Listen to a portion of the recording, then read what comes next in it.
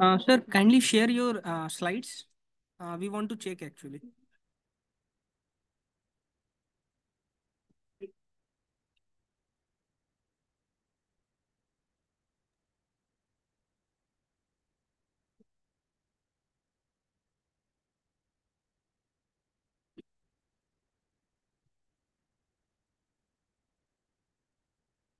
How does it Can look? you uh, can you move ahead the slides? A uh, few slides. We want to check that if the slides are going ahead or not.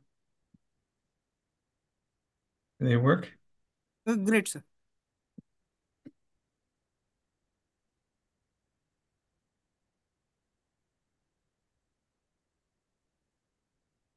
Great, sir.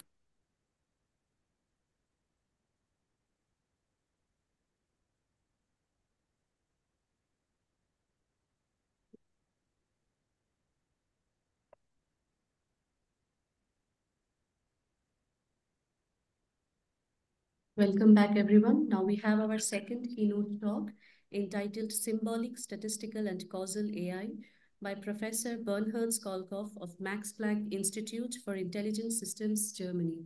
And to chair the session, I would like to request Professor Arup Bose of Indian Statistical Institute, Kolkata, to please come up on stage and chair the session for us.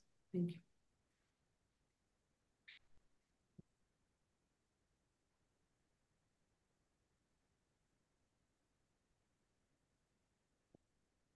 Thank you. Uh, it's a great honor to be here and chair this session, uh, which is going to be delivered by Bernhard Schölkopf. And uh, my training is not in arti artificial or machine intelligence. I'm from the statistics and mathematics background and probability. Uh, but I have seen some of the videos of video lectures of Professor Schölkopf, and I can guarantee you that you're uh, in for an interesting one hour. So Professor Bernhard Schölkopf's scientific interests are in machine learning and causal inference. He has applied his methods to a number of different fields, ranging from biomedical problems to computational photography and astronomy. Bernhard studied physics and mathematics and earned his PhD in computer science in 1997, and then becoming a Max Planck director in 2001.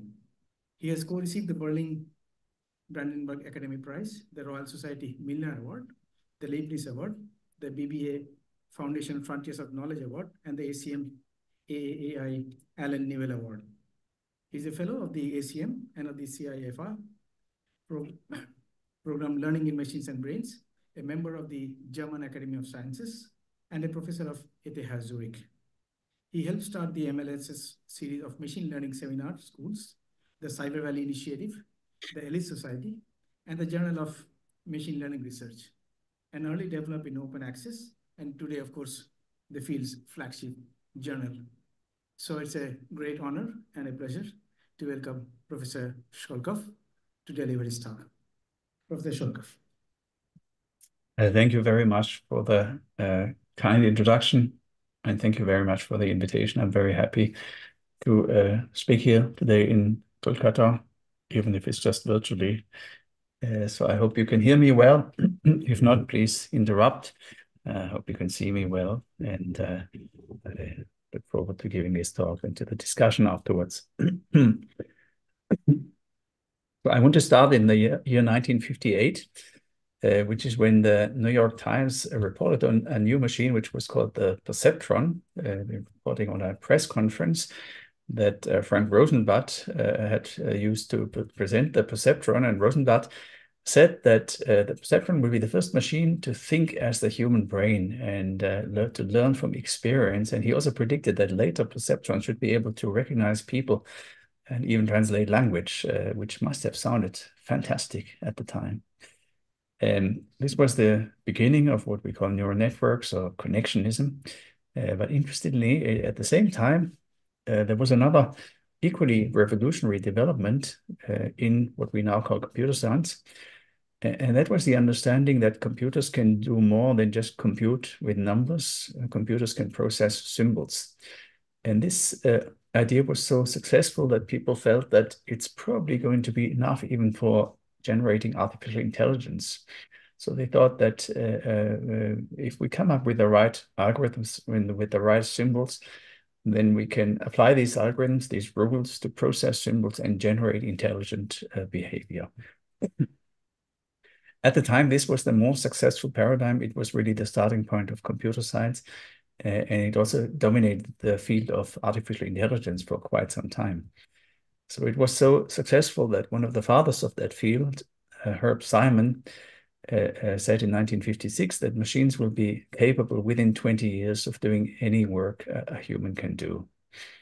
Now, uh, this was fueled by initial successes, uh, promising successes, for instance, uh, when it comes to automatic uh, theorem proving or computer chess, um, which is shown in this picture here. But short, soon people noticed there was something paradox going on. And this was stated explicitly by Hans Moravec. and the paradox that he formulated essentially said that the easy problems are very hard, but the problems that looked hard are surprisingly easy. So problems like chess or mathematics was surprisingly easy or comparably easy for AI. Uh, but problems like looked easy, uh, like including most of the things that animals can do, or things like moving a chess piece, turned out hard. So even even so much so that uh, when uh, Deep Blue uh, beat Garry Kasparov yeah, on the side of the table where it said Deep Blue, there was actually not Deep Blue sitting, but there was a human sitting because Deep Blue didn't know how to move chess pieces.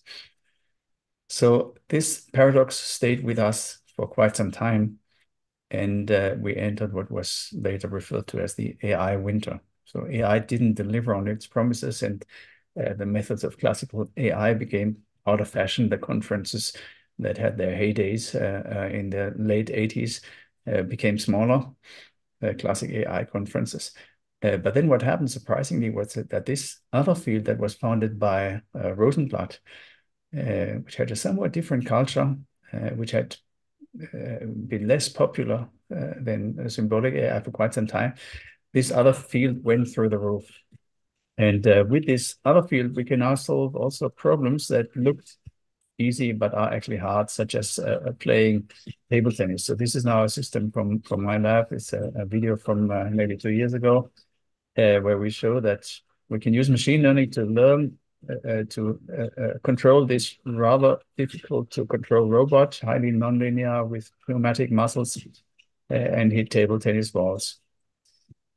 So that's an encouraging success. I want to show another encouraging success, but then I want to talk about the problems of uh, today's AI, uh, i.e. of machine learning.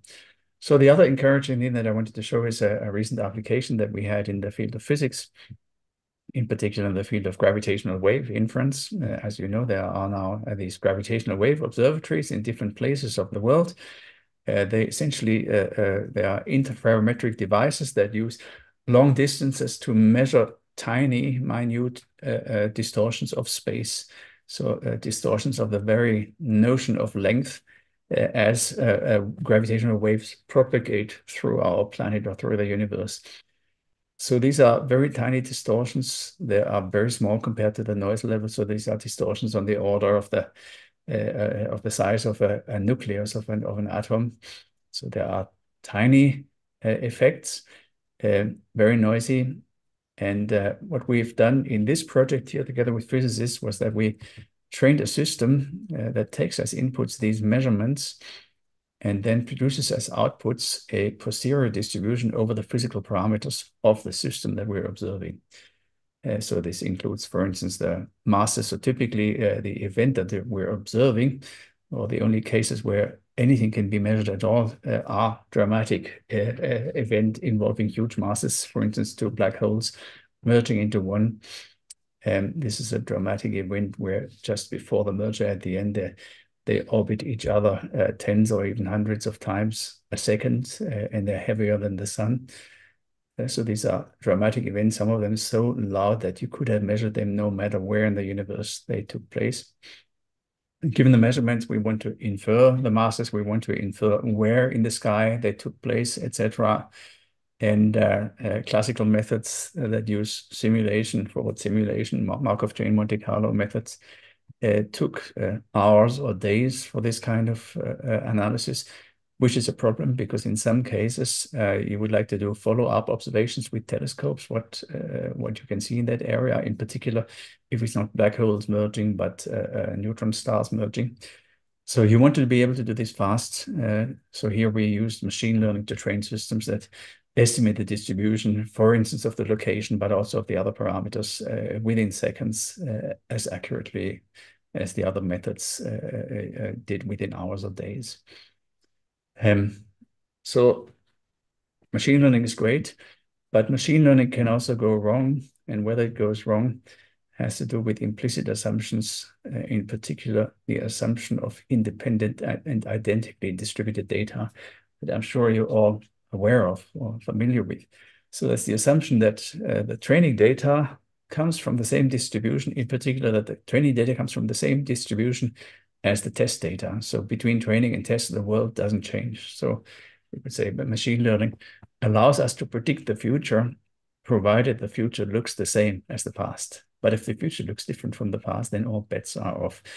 And uh, this is a nice example where people had uh, they had trained systems to detect uh, what's called a pneumothorax uh, when one or two of the, the uh, uh wings of the lung collapses. Uh, this gets treated in particular by inserting a little tube in the lung so the liquid can flow out. Um, and what they did is they trained systems to do this automatically to class to, sorry to classify automatically whether a person suffers from a pneumothorax given X-ray images. they uh, achieved a very high performance, but then noticed that on a test set of new uh, images of new patients coming in, it didn't work. And when they analyzed uh, how the system worked, they noticed that the system was essentially just looking at whether uh, this little tube had been inserted in the lung, because in all the training images of the patients with pneumothorax, uh, they had already inserted that tube. And of course, uh, with new people coming in, if you want to use this as a diagnostic tool, you don't know yet uh, whether they have pneumothorax, so you haven't yet inserted this tube. So uh, uh, clearly, this seems to be a system that then was trained on a feature that is correlated uh, in a certain population with whether there's a pneumothorax, but it's not causal for the pneumothorax, and it's been very misleading in this case. Um, second phenomenon that I believe also many of you may have heard of is this phenomenon of adversarial vulnerability. So in this phenomenon, you take a machine learning system that was trained uh, on a certain task, uh, in, for instance, to recognize objects and animals. And uh, in this case, uh, it successfully recognized this little uh, piglet. But if you add a little bit of malicious noise and it's a it's a noise that was optimized given knowledge of the classifier. You add a little bit of malicious noise, the image still looks the same to a human, but the system now uh, classifies it confidently as an airplane. Now, this is also a problem uh, uh, of uh, the, the violation of the IID assumption because our, our, systems are highly optimized to a given distribution. And uh, if we then make slight uh, interventions, slight distortions we are now generating an image that comes from a slightly different distribution. And in this case, uh, that is already enough uh, to fool the system. Now, I've already uh, used the word causal before. I think we all know that causality has something to do with uh, statistics and with correlation, but we also know that it's not the same as correlation. Now, in which sense does causation uh, differ from correlation? So one of the first persons to uh, think about this problem was the, uh, the philosopher and natural scientist uh, Hans Reichenbach, originally from Germany, a very interesting character. He did his uh, PhD thesis on foundations of probability. It took him quite a while to find a professor who would give him a PhD for this, but then subsequently he was hired uh, to a physics department uh, in Berlin by Max Planck, von Laue, and Einstein. Um, he had to leave Germany because he was uh, of Jew partly of Jewish ancestry. He went to uh, Turkey and then later to America, where he founded a famous philosophy school at UCLA. And uh, uh, in America, he wrote a book uh, called The Direction of Time. And in this book, he postulates the common cause principle. And this common cause principle says that if we find uh, or if we observe that there are two variables uh, that are correlated in the world, then there must be a causal explanation for this. And the causal explanation uh, in the generic case would be that there's something else that causally influences both of them. Now, uh, this something else could coincide with either X or Y. So these two graphs over here are special cases of this one, if you want. Um, so for instance, if we observe that the frequency of storks and the human birth rate uh, are correlated. So this uh, uh, is the, seems to be the case, or it was the case in some data sets of European countries. And I don't know if this is also a, sort of a, a, myth in India, but there's this story that the storks bring the babies. And so if you find these quantities to be correlated, then uh, the explanation could be that the storks bring the babies. It could also be that the babies attract the storks, maybe with their loud shouting. Uh, or it could be that there's something else that causally influences both of these uh, uh, observables, uh, for instance, economic development. And uh, based just on the observations of the storks and the babies, we cannot distinguish between the three. So we can get the same joint distribution over these two variables uh, from all three cases. Um, but uh, uh, uh, so what's important now is that for machine learning, as long as we're in an IID setting, this distinction doesn't matter. So we could take the frequency of storks and uh, use it to train uh, and the frequency of of uh, uh or the human birth rate, and then we could we could uh, uh, train a machine learning system to classify or to predict the the frequency of human birth, so human birth rate from a number of storks, and it would probably, or it would do better than chance because there is a correlation. Uh, however, that system would probably not transfer to other continents where the relationships are different. So it would not be a stable relationship. And also it will not predict the effect of interventions. So if we were to artificially increase the number of storks, uh, then that system might maybe tell us, oh, it seems like we should now get more babies, which of course is misleading. And the reason is that the system has no, it just models a statistical relationship in one data set. It has no understanding of the causality and no robustness uh, in terms of transfer, no robustness in terms of predicting the effect of interventions. So these are two issues, transfer and interventions, where statistical learning alone is not enough. Now, if we uh, say statistical learning is not enough, then of course, uh, uh, what I would like to suggest is that we have to think about uh, causal forms of machine learning. So what, uh, what kind of desiderata should causal machine learning satisfy? So first of all, it should give us a certain form of out of distribution generalization. So it we would like the systems to generalize even if the IID assumption is not violated. So the IID assumption has been has been called the big lie of machine learning. In practice, we never have IID data. The uh, causal machine learning should support uh, working with multiple environments, ideally also multiple tasks. It should be sample efficient because it should be able to transfer uh, uh information from one setting to another one.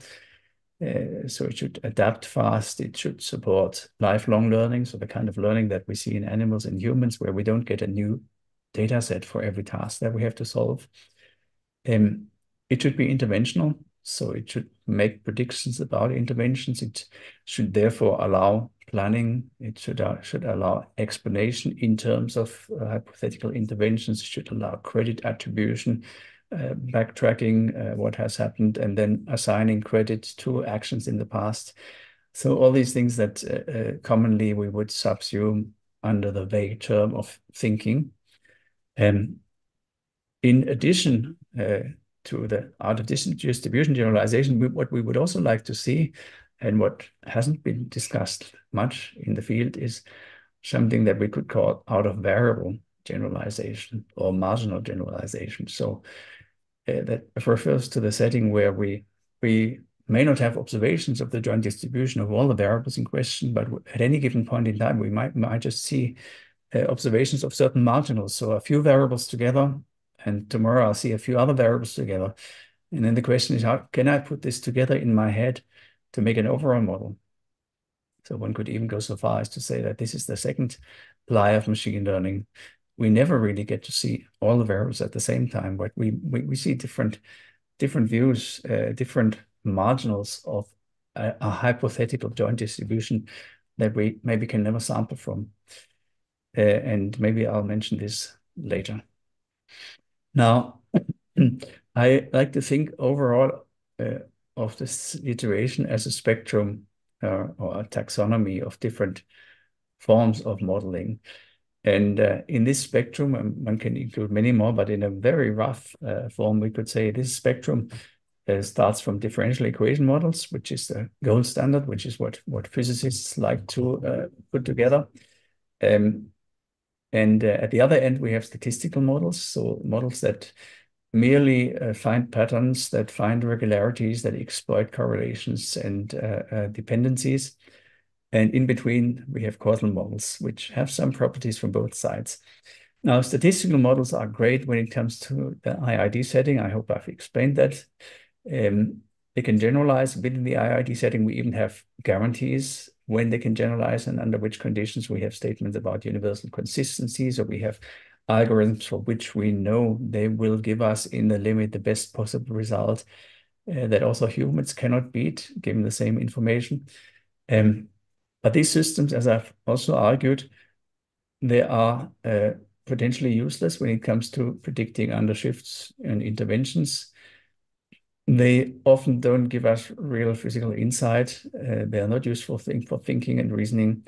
But the great thing is we know how to learn them from data. Now, a differential equation model, on the other hand, uh, is hard to learn from data. Usually, uh, it requires a smart scientist to come up with the right differential equation model for a problem. Um, but in principle, if we get them, they allow us to do anything we want to do. They are like the best description of a system that we can give in terms of mathematics, um, loosely speaking. Now, a causal model is somewhere in between. Uh, it allows IID prediction. It also allows uh, prediction under shift and interventions. Uh, one can argue that it gives us more insight. Uh, it supports thinking, reasoning. And the hard question is how to learn them from data. Under which conditions can we learn causal models from data? So this is something that I would like to uh, talk about in much of the rest of, the, of this lecture. And, uh, and I would also like to talk about how these different levels are related to each, each other. So what does one level tell us about the other one? How do we how do we bridge these this hierarchy? Uh, so for instance, uh, given a set of ordinary differential equations, how do we get to a causal model? So if we had a, a, a generic set of differential equations of this form here, uh, with an initial value, so that's an initial value problem, and then uh, there's a famous theorem of Picard and Lindelöf that tells us that if this function here is well behaved, then uh, so it satisfies a certain uh, continuity or smoothness assumption. Um, then there exists a unique solution, x of t, um, that uh, I think in an open set containing uh, this initial value, which means that in particular, uh, the immediate future, of course, also the immediate past, but let's focus on the future. The immediate future of x is implied by its past. Now, if we rewrite this thing in terms of differentials, uh, then we can equivalently write it in this form. And in this form, uh, you can you could just read off how the future values of your uh vector of observations is related to which uh, uh, which parts of its past. So it tells us which entries of x of t have a causal influence on on which other entries at a point in the future. So if this differential equation truly describes the, the physical causal structure, then you could say this then gives us a graph that we can write down that describes this causality. Now, uh, often, now this of course is now still a temporal, it's a, it's a graph in time. So it gives us a complicated temporal structure of causality, uh, which might change over time, etc. Sometimes we want an atemporal statement uh, and then we're interested in the question how to get from differential equations to non-temporal causal models. And I don't have time to go into this, but there are some, we, and we've also done some works on this. Uh, for instance, um, if we're interested in a problem where we have an ODE system that is in an equilibrium state uh, that satisfies certain stability conditions, and we perturb it a little bit, and then we ask, how do the variables now change given this perturbation? Uh, so there are there's work on this. It's also related to the issue of coarse graining. Um, but I don't want to go into details on this. I just want to give you a flavor of how the different levels are related. Uh, the next uh, uh, connection, interesting connection, is the connection from a causal model to a statistical model. So this has been studied in great detail in the history of causality research, and this is also how we got into this field. So what is a causal model? What is a so-called structural causal model? So in a structural causal model, we have a set of observables, and we assume they lie on the vertices, or they form the vertices of a directed acyclic graph. So it's a graph with directed arrows and without loops. The arrows represent direct causation. And uh, in the model, we assume that each variable, so think of this green one here, is a function, a deterministic function of its parents. So PA, I, so red ones are the parents, and in addition of a noise variable. So the noise variable is not shown here, but that's how the whole thing becomes random. So this is deterministic, but there's a noise. Now, we assume that uh, the noise variables are jointly independent. So why do we assume this? Well, if if there were dependencies amongst the noise variables, then by the Reichenbach principle, we would say, well, it looks like there's another variable that causes both of them. And then we really should make a bigger graph that includes that other variable. So the assumption of having independent noises really corresponds to saying that the graph that we are considering is large enough, enough such that the noises that sort of drive this uh, model are independent and there's no interesting causal structure outside that we should be modeling. Now, now what is interesting about this, uh, this model, if we specify the distributions of these noise variables, so separately because they factorize, um, and then we uh, uh, substitute into these equations, uh, then we get a unique joint distribution because there are no loops. And uh, this joint distribution, interestingly, uh, has a certain uh, independent structure that uh, carries information about the graph. So it turns out that this joint distribution, which we call the observational distribution, satisfies uh, the, the statement that uh, conditioned on its parents, so, so this variable, or any such variable, when conditioned on its parents, it becomes independent of its non-descendants. So non these are the descendants, and non-descendants is anything that's not a parent or a descendant. So that is something that's interesting and something that we can test in principle based on data. It's a hard problem to test this, but in principle we can do it. Uh, unfortunately, we can only do it if we have at least three variables because uh, a conditional statement always connects at least three random variables. So if we have only two, uh, we're stuffed. But I'll come back to the two variable problem in a minute. Uh, before doing so, I want to say that um, this joint distribution equivalently actually uh, can be uh, written in a particular type of factorization where here we have conditionals of, of, so for each variable we have one term in this factorization and this term is the conditional of the variable given its parents. That's a particularly nice factorization because the parents might be just a few, even if the graph is large. So that's, in a way, if you want, that is a relatively low dimensional description of the joint distribution. And, uh, and this model, uh, what is nice about this model, so it, it gives us all of statistics, if you want, it gives us any possible joint distribution, but it gives us more because um, in this representation, we can also say what happens if there are interventions, what happens if we change one of those variables, or what happens if we change uh, one of those mechanisms, one of those functions. Now, uh, I'll come back to the two variable case. So this is um, really what intrigued us when we got into this field about uh, 10 years or so, or a little more ago, um, 15 years ago. Um, we thought intuitively there are cases where we think the problem can also be solved if we just have two variables. Uh, and we wanted to uh, provide a toy example why, why that makes sense and what kind of assumption you need. And uh, we came up with an assumption that we call independence of, of uh, causal mechanisms. Or in the two variable case, which we're considering here, uh, it's just an independence of the cause distribution and of the conditional of effect given cause. And let's make it even simpler. let's say the conditional of effect given cause has no noise. So it's just a function that translates uh, the cause into an effect. So that means we have a distribution over the cause variable. We have a mechanism, so that's our conditional f of x. And then that implies a distribution of the effect variable. Now, what's interesting is if this uh, mechanism is non-trivial, so if this is more than just a straight line, so let's say this is a nonlinear function, it has some flat area, then these flat areas will imply that the density of the output variable is larger in those areas where we have the flat thing. So that means the output distribution carries a certain footprint of the mechanism. And more specifically, if we make the assumption that the mechanism distribution, uh, sorry, that the cause distribution uh, knows nothing about the mechanism, so that these two things are independent in ways that can be formalized, then uh, we can show that the independence between the effect distribution and the inverse mechanism uh, is violated.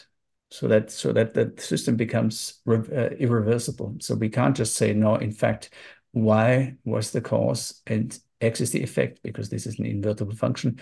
That is not true because then the independence between this and this would be violated. And uh, one possible formalization uh, uh, is written here. I won't go into details on it. I think you, you got the basic idea. Uh, and for this formalization, we can prove that the corresponding quantity in the backward direction will be strictly violated, will be strictly non-zero, uh, as long as the function the mechanism is not the identity. Now, uh, that's interesting, and I'll come back to that in a minute. But before doing so, because I will come back with an example from physics, before doing so, I want to tell you that uh, this is not the only possible ways.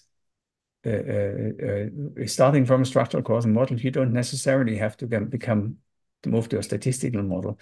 You could also say, I'll start with a structural causal model, and I derive an algorithmic model. So a model where uh, we are not using uh, uh, uh, random variables and Shannon information and mutual information, etc., to measure dependencies, but a model where we use uh, something called Kolmogorov complexity or, or so-called algorithmic information. and in this model, it's this is a, a, model of computation rather than just of functions connecting random variables, statistical variables. So in this case, we assume that every for every node, um, there's a, a program that computes the value of that node from the values of its parents, uh, uh, running on some Turing machine, and uh, uh um, and there's a in the program. Uh, the program is now takes the role of what previously was the noise. So there's a program that runs here and computes, given it the parents the values of this, and um, and now we have to make an assumption. So we before we had an assumption that the noises were jointly independent. So in this case, we have to make the assumption that uh, the noises are jointly independent in the sense of uh, uh, compression. So uh, these uh, these uh, um, these quantities, these programs, they are all bit strings now. these bit strings should be not jointly compressible better than the sum of the individual compressions. That's the generalization of independence to this setting. Now, if we make this assumption, then it turns out we also get a causal Markov condition like before. So it's also the same kind of conditional independence statement, just like before. And we also get uh, uh, corresponding to this uh, factorization of the joint distribution, we get a decomposition of the joint complexity. So that's, uh, you don't have to follow it in detail, but there's a, a, a very strong analogy. And uh, turns out if we now make uh, the independence assumption that we made before, so independence between cause and mechanism, uh, and we make it an example of physics, then we can derive something rather fundamental in physics, uh, which is the second law of thermodynamics. So the statement that entropy, uh, uh, uh, the entropy of a system, cannot decrease by a sort of physical time evolution, and and we can and that's a paradox in physics because uh, uh, time evolutions in physics are typically reversible. So quantum mechanics, the time evolution is unitary, so it's reversible. So where does this asymmetry of uh, thermodynamics come from? And here uh, uh we, we will argue that it actually comes from an independence assumption. So let's assume we have our cause. In this case, uh, we have a set of particles that fly towards some object we have an incoming beam. Let's say this is uh, some light shining at this object. Then we have a scattering mechanism, so the object reflects some of these uh, photons or particles. Uh, we think of this as our mechanism. And then we have the outgoing beam, uh, and that's the thing that we photograph because uh, like we don't see the objects themselves. We just see uh, what they do to photons when we shine light on them. Um, and that's the effect. And of course, the effect, we are used to the fact that the effect contains information about the object. That's how photography works. That's why on pictures we see something, we think we see the object. Um, and we, it shows the object in the past. So photographs show, show us the past. Uh, so where does the asymmetry come from? So uh, uh let's do it as follows. So uh, we, we're going to, uh, so the asymmetry comes from the fact that this uh, initial state, the cause, has no information about the object. So the object and the cause are independent, uh, but the same is not true for the effect and the object because the effect contains information about the object. Uh, that's how photography works. So we are going to more generally make the assumption that the initial state of a physical system and the system dynamics are independent in the sense of Kolmogorov complexity. So we'll say that the uh, if I concatenate the two and I Uh, uh, compress the description of the union of both, uh, I will get a description uh, which is a not shorter than the sum of the individual compressions. So that's the definition. And this plus here means it's up to the choice of Turing machine. So it's up to a constant offset, which which is a problem that I'm going to brush under the carpet now. Um, so if I'm willing to make this assumption, this independence of cause and mechanisms, or more generally, uh, the independence of causal mechanisms, we can generalize this to larger systems. And then it turns out we can prove that the, Kolmogorov complexity, so the description complexity of the state as it evolves over time, uh, cannot decrease. So the entropy, if you're willing to accept Kolmogorov complexity as a proxy of entropy, which uh, is, is uh, uh, not unpopular in fundamental physics, then uh, uh, you get a version of the second law of thermodynamics. And, uh, and this is just a picture of, give to give you some intuition about this assumption in a completely different domain. This is to give you intuition in the domain of, of vision. So, so here we have uh, what's called a Beuchet chair. So you see, this is the Beuchet chair. It's obviously it's not a chair, but if you look through a, a specific uh, from a specific position at the chair, then it actually looks like a chair. So it's a case where visual perception fails us. So why does it fail us? It fails us because an assumption is violated. And the assumption that's violated is uh, this formula, this independent causal mechanisms principle, the assumption that the causal generative process is composed of autonomous autonomous modules that do not inform or influence each other. And in particular here, the assumption that's violated is that the structure of the thing that we're seeing, so if you want the probability distribution of the world, uh, what's violated is that this is not independent of our perception process, in particular, the viewing direction. So our perception process, if you want, that's the conditional of percept given the world, should normally be independent of the world. But if this is violated, if we look through this hole, then perception fails because we see something that's not there. Um, I think I'm going to uh, briefly uh, skip this uh, slide. So that's just an example uh, of the independence assumption in in a in a weather uh, uh, data set. can, if you want, we can get back to it in the discussion and rather uh, just summarize now in formulas where do we stand now. So we said uh, in a causal model, there's a joint distribution that can be factorized in a specific and nice way with one term for each variable given its parents. Uh, each of these terms we think of as a causal mechanism. These are the mechanisms that generate the statistical dependencies. And we have the independent causal mechanisms principle that tells us that changing one of these guys does not change the other ones.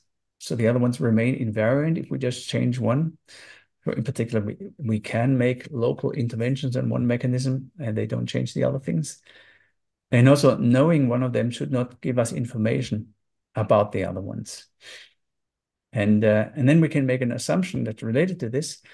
Uh, and the assumption you could think of as a generalization of the IID assumption. So in the IID assumption, we say we have a distribution, our training set comes from this distribution, the test set comes from the same one, that's it. So now we make a slight generalization and we'll say, that if there's a distribution shift happening in the real world and we move from one system to a, a related system, then we will assume that that shift only acts sparsely on the right-hand side. So only a few of them should change, but most of them should remain invariant. And that's a relaxation. Um, now, in principle, you could also have other factorizations uh, of the data of the joint distribution. So this is the causal one. Uh, uh, other ones could, for instance, you can write the joint distribution like this. Mathematically, that's always possible. Um, the difference is these objects here, they don't have a, for those of you, this is a possible uh, mathematical notion of exchangeability, which is a fundamental thing in the foundations of probability, in particular for Bayesians. And the bottom line is that is going to be that in the exchangeable case, if we have exchangeable data, but not IID, so exchangeable is a broader class of uh, data generating mechanisms, then uh, we can identify causal structure from the data. So in a, in a certain way, exchangeable data, even though it's sort of satisfies less assumptions than IID data, uh, can be richer or more useful uh, when it comes to causality. Um, so, uh, so exchange. What is exchangeability? It means that we have a sequence of random variables such that their order doesn't matter. So, joint distribution over any n such uh, random variables is invariant under any permutation of these n variables. And then the De Finetti theorem uh, tells us that such exchangeable random variables can always be written uh, in this form. So we can always uh, uh, pretend that really there exists a random variable theta that has a certain distribution uh, such that this exchangeable sequence, which may not be IID, is at least conditionally IID given theta. So that means we can think of a generative process where we first draw theta and then we draw the other ones given theta, uh, which means they factorize in this way. So that's uh, uh, the standard De Finetti theorem. It's sometimes used to justify uh, Bayesian inference. Uh, um, people could say, well, even if we don't know the prior, if the data is exchangeable, we can pretend that there is some kind of uh, prior distribution over theta, and this is the real data generating model. Now, um, we have generalized this first uh, to bivariate data, and in this case, we have um, we have pairs of X and Y, and we assume that we have an exchangeable sequence of such pairs. And then we'll make an additional assumption, which is now our ICM assumption. And uh, it, it, it, reads like this. And uh, this means that uh, given its direct, so, so now we consider xn plus 1, uh, um, given its direct parents uh, here, xn, um, we will not gain more information about the uh, targets yn by knowing the additional input point xn plus 1. So we're interested in the relationship from x to y. And uh, uh, if we are given an additional input, it doesn't tell us anything that helps us predict the outputs from the inputs. So um, you can you can see that this is an assumption that corresponds to saying that the input distribution or having an additional point from the input distribution doesn't tell us anything about the conditional of y given n. Uh, so this, this would be the ICM assumption corresponding uh, uh, to the causal structure x causing y. And it turns out under this assumption, we can prove that there are two random variables, uh, uh, theta and psi, and two distributions such that we get this kind of decomposition of the joint distribution. And this now uh, uh, corresponds uh, to a structure where we have uh, we have the, the, the cause mechanism, which is parameterized by this prior over theta. And then we have the mechanism of y, sort of x, how x causes y, and this is parameterized by a separate uh, distribution over psi. And the fact that these two distributions now factorize uh, is now interpreted as saying that the cause and the mechanism are independent. And we can generalize the same uh, to uh, uh to the d variable uh, case also. So that's a nice uh, factorization. but I would like to now move on and show you my first. I want to show you my favorite application, and then I want to tell you a little bit about what we're doing now and why we are interested now in what we call causal representation learning. So the uh, application is uh, one in astronomy. So it's an application on the Kepler space telescope on data from the Kepler Space Telescope.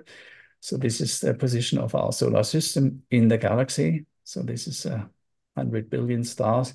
This is one tiny star, uh, our sun, our solar system, and uh, we had this space telescope Kepler, which was staring at one patch of Milky Way for several years.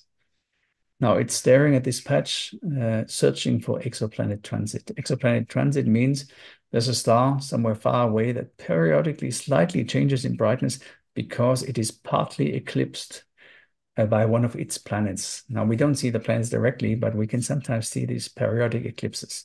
And they're very small events because planets tend to be much smaller than stars, of course. Now, we're looking for that, but unfortunately, we can't see it directly. So what we see is these brightness changes over time. And these brightness changes are affected not just by the physical system out there, uh, but also by our instrument, because our instrument, it's even it's even though it's trying to stare exactly at the same patch of Milky Way, uh, it, it has slight errors, uh, shifts around. That means that some of the pixels, or each of these curves here corresponds to one pixel. Some of the pixel may get dimmer over time, others get brighter over time. Uh, and interestingly, uh, if we now ask ourselves, so is this uh, the fact that these get darker and these get brighter, is that something physical or where does it come from? then the answer is it comes from the instrument because we can see the same thing also in the signals of other stars. So now we take another star that might be light years away from this one. So this is all real data. And then we see, oh, some pixels are getting dimmer, others are getting brighter. And probably this can just be explained by the telescope having shifted slightly. Now, how do we uh, remove this effect uh, from the of the telescope? Because what we really want is the astrophysical signal. So what we are, what we came up with is uh, the following idea. We said that the telescope is looking at hundreds of thousands of stars. Now we take the take those other stars that are sufficiently far away, such that there's no light leakage on the CCD, etc. And then we try to explain the signals from our stars as best as we can using machine learning given uh, the other stars as features. So we, learn a regression, uh, um, a high dimensional regression, uh, try to do the best possible job, and then we remove the signal, the part of the signal that we can explain, we remove it in the correct way, and then we can show empirically, but also theoretically under certain assumptions. So there's a certain additivity assumption, certain assumption about completeness of information. We can show that if we remove the regression of our uh, star on the other stars, uh, what we're going to get is that the, ast the astrophysical signal up to a constant offset. So that's quite surprising. And we have a, also a generalization. Uh, I'm not going to go into details on that, but we, so we did this and we found a set of exoplanets uh, around 20, 25. Uh, most of them were confirmed using other methods now afterwards. And uh, one of them was particularly interesting. Uh, it was called K2-18b. It was interesting because uh, it, uh, the characteristics of the star and its distance to the star were such that in principle liquid water was possible. So this is a, a star that's in this Goldilocks uh, zone, not too warm, not too cold. Sorry, the, the planet is in this zone, not too warm, not too cold, uh, which was nice. but it became much nicer a few years ago when another team found out that on that planet, we first didn't notice this was our planet, or actually uh, my astronomy collaborator told me, so I didn't notice. Uh, someone else on that other planet uh, found uh, traces of water in the atmosphere using other methods. So this was the first such uh, potentially habitable planet where uh, water was found. So I want to go back to the fundamental problems. I told you about how to bridge different levels from ODEs to causal models, from causal models to statistical models, from causal models to algorithmic models. Uh, another interesting transfer problem is how to get from one statistical model to another one. And I want to uh, give you a few pointers of related problems that I think are very important. So one is that the this this transfer problem, where we may have learned a multivariate density and we can write it causally like this. Now suppose it drifts to a related, uh, slightly different but different density, uh, P2. And now we want to ask the questions, uh, what do we have to observe to learn P2, given that we've already learned P1? And, uh, and of course, the answer is if we know nothing about this drift, then we have to observe everything. We have to start from scratch. Um, but if we're willing to assume that they are related to each other in the sense that they share the same underlying causal structure, and uh, and the sparse mechanism shift hypothesis is true, then uh, uh, we're in a much better situation because we only would have to uh, we could reuse most of the causal conditionals over here, and we would only have to relearn those that uh, uh, we only need to observe those variables that appear in the conditions that have changed. So that's a dramatic simplification of the problem. And uh, related to this, uh, I mentioned before this topic of out of variable generalization. So there's a related question which asks, given samples only for marginals over subsets, so we never see the joint distribution, we just see samples from marginals over variable subsets. Can this sometimes allow us to learn the overall model nevertheless? And there's a there's a trivial answer and there's a non-trivial one. The trivial one is, uh, but even though I think uh, it's trivial, people haven't talked about much much about this. Um, the trivial one is if we know the graph, and uh, then it's enough to have marginals such that each causal conditional is completely included in one of the marginals. So for instance, if we uh, observed the variables for each causal conditional, we observed exactly those variables, so the xi and all its parents jointly, then we can estimate that conditional. And if, if this is true for every conditional, we have the joint distribution. So that means we we we get by with having much, much lower dimensional uh, uh, uh data. But there's also a, a non-trivial setting which we've analyzed in a, in a recent paper, uh, which I'm pointing to here, uh, where we need less than that. Now, uh, I want to maybe use the last five minutes or so uh, to motivate causal representation learning. So I talked about symbolic AI, uh, with symbols are provided, the rules are provided. Um, talked about machine learnings where we learn representation and rules from the data. I talked about causality, which we would say is derives from classic AI. We also assume that the variables are provided a priori. What we really would like to do is merge these two things and automatically learn representations uh, that support all these tasks, um, but where we're not given the variables where we learn those representations. So a machine learning approach uh, to a true machine learning and representation learning approach to causality. And we've worked on a number of different methods. Um, and I, I don't have the time to go into them how to uh, uh, um, how to do this, how to learn such representations, how to encourage independent mechanisms.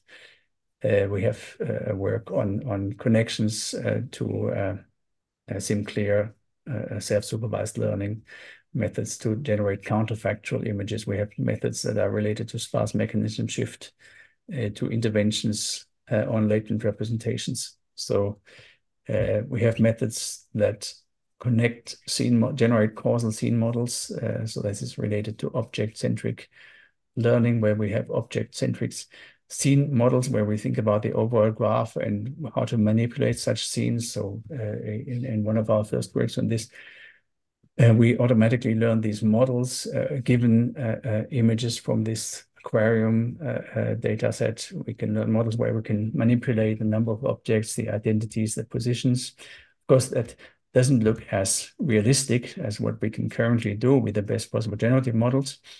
So this is a picture that I did a few days for a Christmas lecture that I had to give. So that looks, at first sight, that looks relatively compelling. This was generated with stable diffusion. But if you look at the images in detail, so I'm going to zoom into this image, then you can see that actually some of the things look a bit scary. The faces are not uh, all compelling. Uh, some of the people look in this direction, some look in the opposite direction. So the system doesn't really have an understanding of what's going on. It doesn't even have an understanding that these are individual separate entities, these humans. Uh, it just generates the whole thing in one. So there's no causal generation process there. There's also no causal manipulation process possible. And the same holds true also uh, in for causal models of music, which is a problem that we've worked on. uh, quite a bit. So I, just as an example of what's possible there, I'll play a little bit. So this is uh, so this is a generative model with latent diffusion trained on the on the directly on the waveform, and then we randomly generate. So there's no conditioning going on here. These are just random samples from the same same model. Here, finally.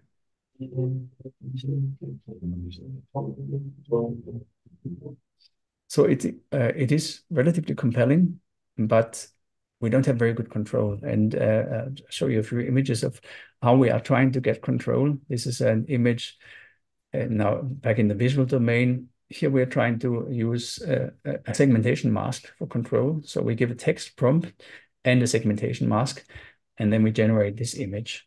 And the segmentation mask actually was derived from a real image, um, but we only used the text prompt and this mask as input, and that's why this generated image looks quite different, but it looks it looks plausible, and it's hard to tell whether this is more compelling or this one. So this is a paper that's coming out this week at the NeurIPS conference.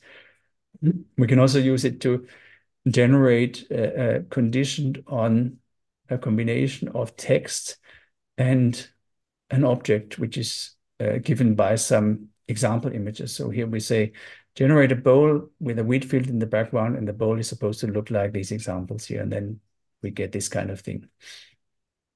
So um, I think this is already moving in encouraging ways towards a finer grained control, uh, causal or interventional controlled of generative models. I think this is the future to have generative models that are more causal. Let me skip this.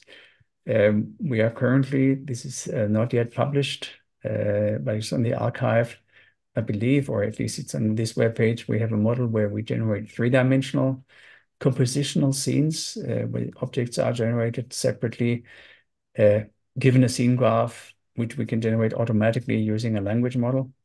And then we get uh, this kind of composite uh, scenes, which I think are, are quite promising. Um, and the long-term goal really is to have a causal representation. So uh, we have a representation of an image which not just includes everything in the image, but it includes it in a structured way such that we can hypothetically intervene and think about what will happen if this chicken eats all these uh, uh, these berries? What will happen to the other objects? How are they connected mechanistically to each other? Um, and that's uh, then related to the fundamental question of what is a representation. But I think I'm probably going to skip this and rather leave a bit of time, maybe give you a few pointers. These are additional papers that are coming out at NeurIPS this week, uh, where we study the relationship between causal representations and independent component analysis, because you can you can view causal representation learning in a certain way as a generalization of independent component analysis. Uh, we also have a paper coming out at the NeurIPS, uh, which is uh, looking at large language models uh, and causality, which is looking at the question of um, how much causal understanding is there in a large language model? Is it even possible that they learn causal representations without explicit causal objectives? Um, so this is how to assay uh, whether a representation is causal and uh, result that is that if you ask hard questions, then uh, even GPT-4 has a rather limited understanding of, of causality. So I want to uh, conclude with uh, um, two pictures uh, about how we can think of causal representation learning. There are two instantiations. The first one is the AI instantiation, if you want.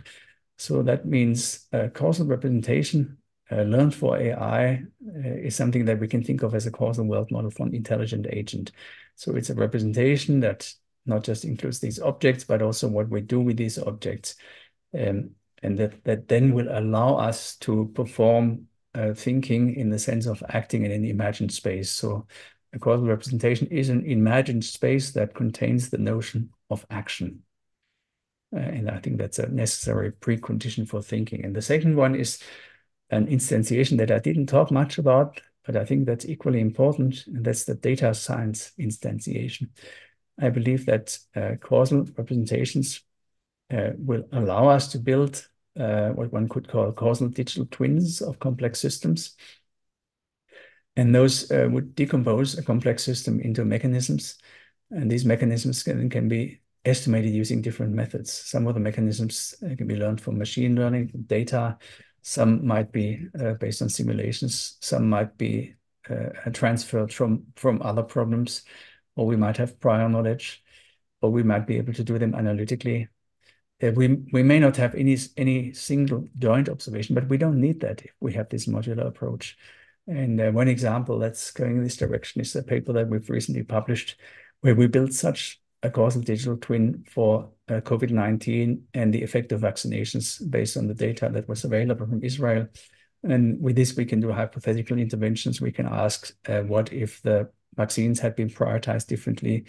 What if instead of COVID, we would have had the Spanish flu with a different risk profile, etc. So I think uh, with this, uh, I want to conclude and uh, tell you that in machine learning, we started with exploiting correlations, doing pattern recognitions.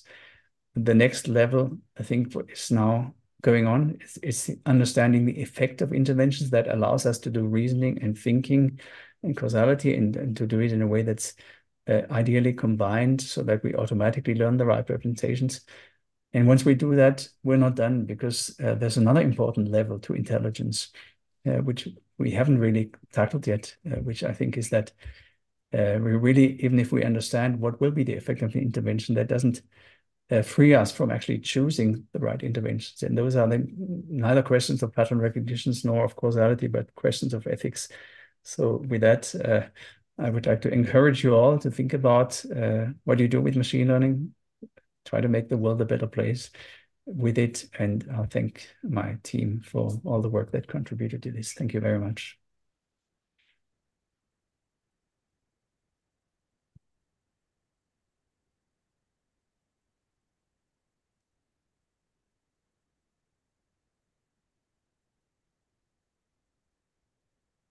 Yeah, Thank happy. you, Professor Schölkopf. Uh, I invite questions from the audience now. Thank you very much, Professor Schölkopf. May I invite questions from the audience? Yes. Yeah.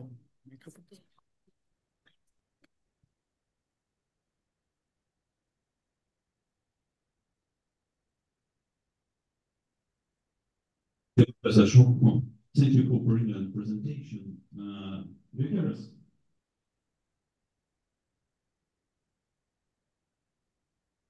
Thank you. Um, so when uh, you're talking about decomposition, decomposition theorem, um, maybe it's key point of your uh, argumentation arguments.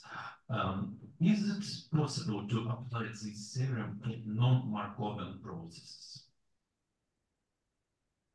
Um, so I, I had a hard time understanding, but I think you're asking whether the decomposition of a joint distribution into uh, components also applies to the non-Markovian setting.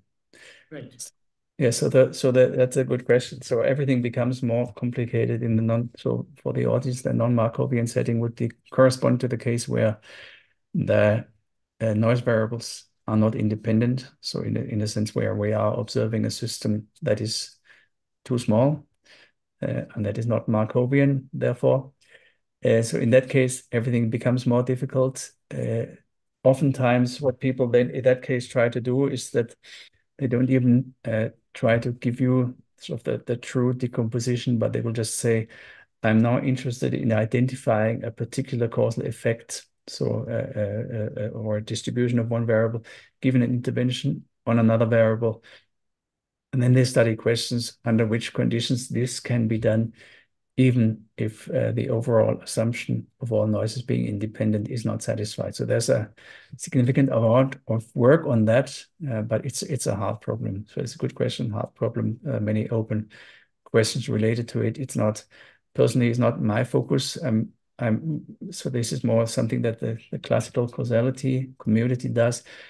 Whereas I now see my direction more in trying to to uh, make causality useful for machine learning and and merge ideas from causality with with machine learning. Thank you. Thank you. Any other questions? Maybe uh, in that case, I'll ask uh, uh, one or two. So I was quite interested in this, your de Finetti, the causal de Finetti theorem. And uh, you had assumed the binary data. So I'm sure there is a version of that for non-binary data where the parameter would be replaced by some sort of a sigma field or something. Yeah, so that's a good question. And uh, obviously you paid attention extremely well. So you saw that this was restricted to binary data. So so we did that because traditionally also the, the classical de theorem is is proved uh, initially for uh, binary data and then generalized to continuous data. So uh, so we also started with binary data. We didn't uh, we didn't bother to do this generalization. We we expect or we don't see a reason why it shouldn't be possible, but that's also something that uh, maybe still should be done. And it's, related to so there are some related works also in the physics community, quantum information theory. People have similar kinds of challenges, but I think it's an interesting problem to look at. Yeah.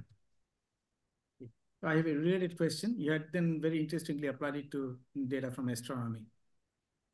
And if I follow the uh, slides, then there is uh, the data is sparse in that case.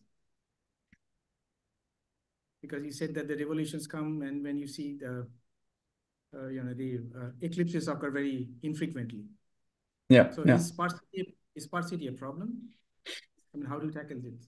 Yeah. So in this case, uh, so I, I I didn't give all the details. So what we actually do is we we predict uh, uh, the intensity of one pixel that belongs to a certain star uh, at a given point in time from many other pixels that belong to other stars at the same point in time.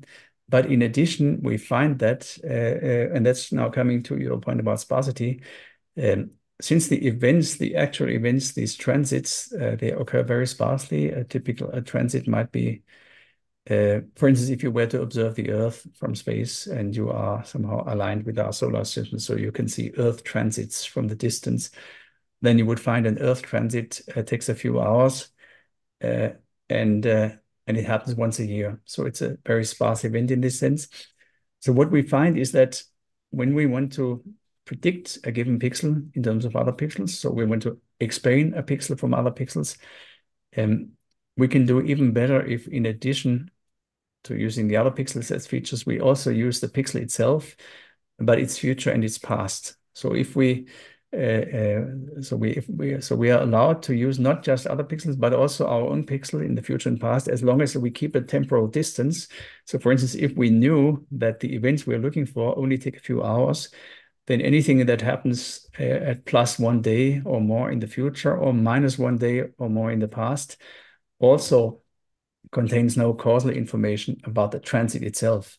So therefore, we can use them as features and whatever we can explain away using those features also helps us. So in practice, we actually use both kinds of information.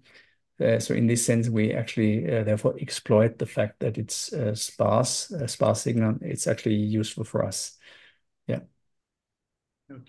Yeah. Okay, thank you. Any other questions? If not, let's thank Professor Bernhard Schölkopf for a very interesting talk. Thank you very much, and my regards to India. Enjoy it. I close the session now. Thank you. Thank you. Sure. Thank you, Professor Bose, for chairing the session for us. And I'll request Professor Nikhil Ranjan Pal of Indian Statistical Institute to please come up on stage and felicitate Professor Bose with a memento.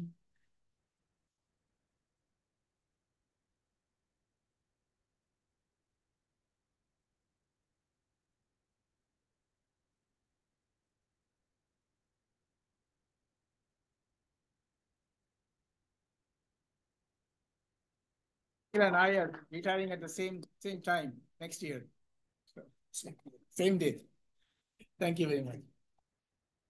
Thank you. Thank you.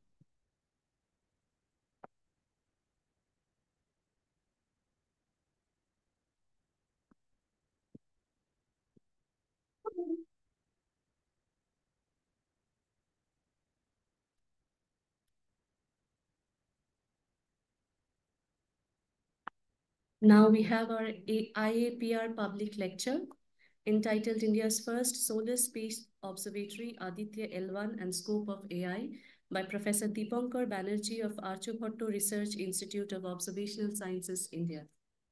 Now to chair the session, I would like to request Professor Supratik Pal of Indian Statistical Institute to please come on stage and chair the session for us.